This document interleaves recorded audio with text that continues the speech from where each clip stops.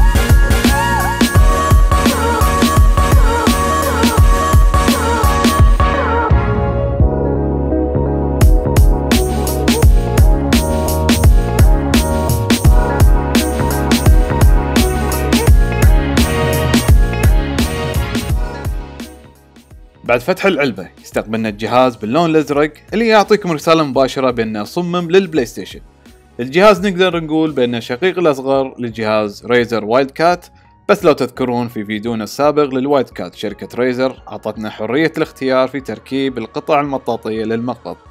بس المشكلة بأن الشكل ممكن يكون أحيانا مو مضبوط. الجهاز فيه أربع أزرار في الأسفل زرين للصوت وزرين لضبط الأزرار الإضافية للجهاز. وراح نشرح لكم بعدين في الفيديو طريقة ضبط هذه الأزرار. بالإضافة إلى ال touch pad والأزرار الميكانيكية مثل وايلد كات الجهاز فيه أربع أزرار إضافية زرين في الأعلى M1 و M2 وزرين في الخلف M3 و M4 زرين L2 وال R2 نقدر نقفلهم ونخليهم يضغطون فقط نصف المسافة. تعطيكم ردة فعل أسرع وأعتقد هذه تفيدكم أكثر حق ألعاب ال fight. مشكلة أزرار الأسهم بأنها نوعا ما عميقة وكنت أفضل لو كانوا أزرار ميكانيكية ولكن يرجع هذا الشيء بالأخير لذوق كل لاعب. في الحقيبة تلقون مفك صغير يستخدم لإزالة الأزرار الخلفية M3 و M4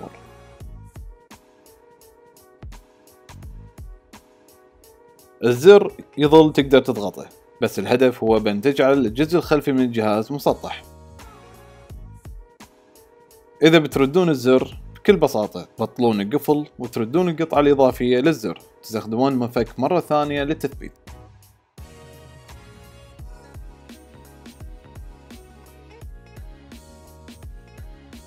من الأشياء اللي يشوفها بعض اللاعبين بأنها سلبية هو بأن الجهاز ما يدعم تقنية ال wireless والطريقة الوحيدة لتوصيل الجهاز هو باستخدام wire USB. ولكن أنا ما أشوف الشيء هذا سلبي لأن الجهاز مخصص لل e-sport يعني انت راح تنتقل بالجهاز من console لآخر وما تبي تضيع وقتك وانت تحاول تشبك الجهازين مع بعض. بالإضافة بان طريقة الشبك باستخدام wire يكون أضمن وأسرع بإرسال الأوامر من جهاز التحكم إلى ال console لتشغيل الجهاز بكل بساطة توصل wire USB بال console وتوصل الجهة الثانية بجهاز التحكم. بهالطريقة تكون مستعد للعب. خلونا نجرب لعبة shooter وأنا راح أختار باتل فيلد 1 مثل ما قلنا لكم في بداية الفيديو الجهاز فيه زرين في الأسفل. لضبط الأزرار الإضافية من M1 إلى M4 لضبط الأزرار أولا تضغط على زر ال profile أو الملف الشخصي. وتقدر تختار ما بين اثنين. وبعدها خليك ضاغط على زر ال macro أو زر الضبط في الأسفل. ثم اختار واحدة من الأزرار الإضافية وخليك ضاغط عليها. وأخيرا تضغط على أي زر للضبط. مثلا اخترنا X لضبط M1 ولما نضغط M1 راح نشوف الجندي يقفز كأنك ضاغط X. إذا اتبعنا نفس الخطوات وخلينا M1 هي الدائرة. فإذا ضغطنا على M1 راح نشوف إن اللاعب ينبطح على البطن. نفس الشيء نقدر نخلي M4 هي L3 ولما نضغط ال M4 راح نشوف إن اللاعب يركض كأنك ضاغط على ال 3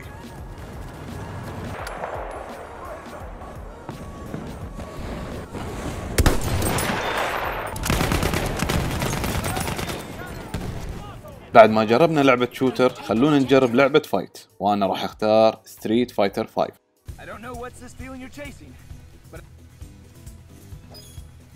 مثل ما ذكرت سابقا بأن ازرار الأسهم عميقة ويبي لكم شوية وقت علشان تتعودون عليها. أما بالنسبة لازرار الميكانيكية فهي جبارة لألعاب ال fight وردة الفعل والاستيعاب فوق الممتاز. للأسف الشيء الوحيد اللي ما ضبط معاي هو بأن أخلي زر ال macro ياخذ زرين مع بعض. يعني أخلي زر ال M 2 ياخذ الدائرة والمثلث أو أخلي ال M 1 ياخذ ال X والمربع. ممكن تلقون له حل إذا بحثتوا في الإنترنت بس في مراجعتي للجهاز ما شفت بأن الشيء هذا ممكن.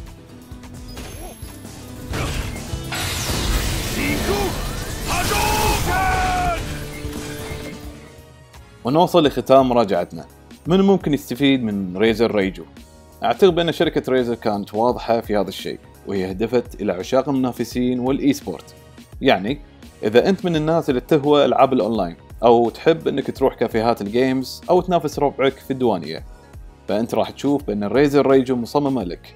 أما إذا أنت ما تحب ألعاب الأونلاين أو ألعاب المنافسة وال fight ف Razer Raiju ما راح تضيف عليك كثير.